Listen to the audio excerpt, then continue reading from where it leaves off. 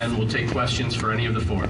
Well, I thought it was uh, the game that we expected to play against Minnesota State. They're obviously here for a reason. It was a great game, and you know, at uh, 0-0 after one, uh, you know, that game could have gone either way. And I thought Ryan made some huge saves in the first period. They hit a couple of posts, and then uh, we got a, a you know a nice goal by McKenzie and on a three-on-one, and um, you know, and then a big goal by Hags in the third period. There, I thought we started to kind of play our game at that point, and you know, they pushed hard, and, and I thought we did a pretty good job of keeping them to the outside and not giving them too much uh, to give up four shots when they pulled a goalie at think it was about three and a half minutes. Um, it's a pretty good job by our defense. So all in all, you know, it's uh, it's that time of the year. You sometimes you need some bounces, and, and um, you know, thankfully enough for us, uh, that happened tonight.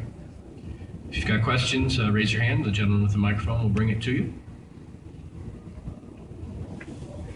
Uh, coach, coming in, Minnesota State had one of the most prolific uh, power play units, and you guys shut them down on the special teams. How important was the special teams play tonight? Well, we, we talked about that all week. They're uh, very dynamic on the power play. They've got uh, some snipers, and I thought our guys did a great job of blocking shots.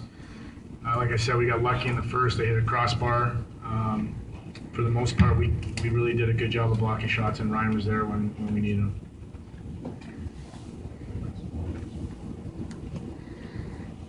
Ryan, uh, coming off the uh, the game last week, was there a point at, uh, during practice this week where you were able to, you know, just really put it behind you and, and focus on this this game instead? Yeah, absolutely. I, as a goalie, um, doesn't matter what level you're playing, but uh, you gotta have a quick memory. Um, I forgot about that the instant that game was over um, Saturday at the Joe Louis, and um, I think our team did as well. Um, that we came out and, like Coach said, we played. We didn't necessarily play great in the first period, but we got to go on in the second, and we really started playing our hockey. So.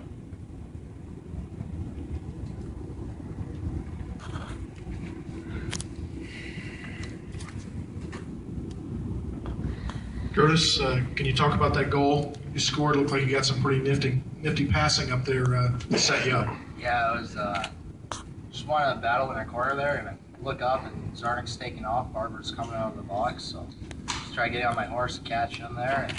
And Zarnik gave me a nice pass right in my skates, and somehow I was able to get it up over the goalie. And you know, it's good, good start for our team there to get that first goal. It's something that we try and stress on. I mean, the amount of times that they've scored first and we haven't been able to turn the gears, so we wanted that first one, so it was nice to get.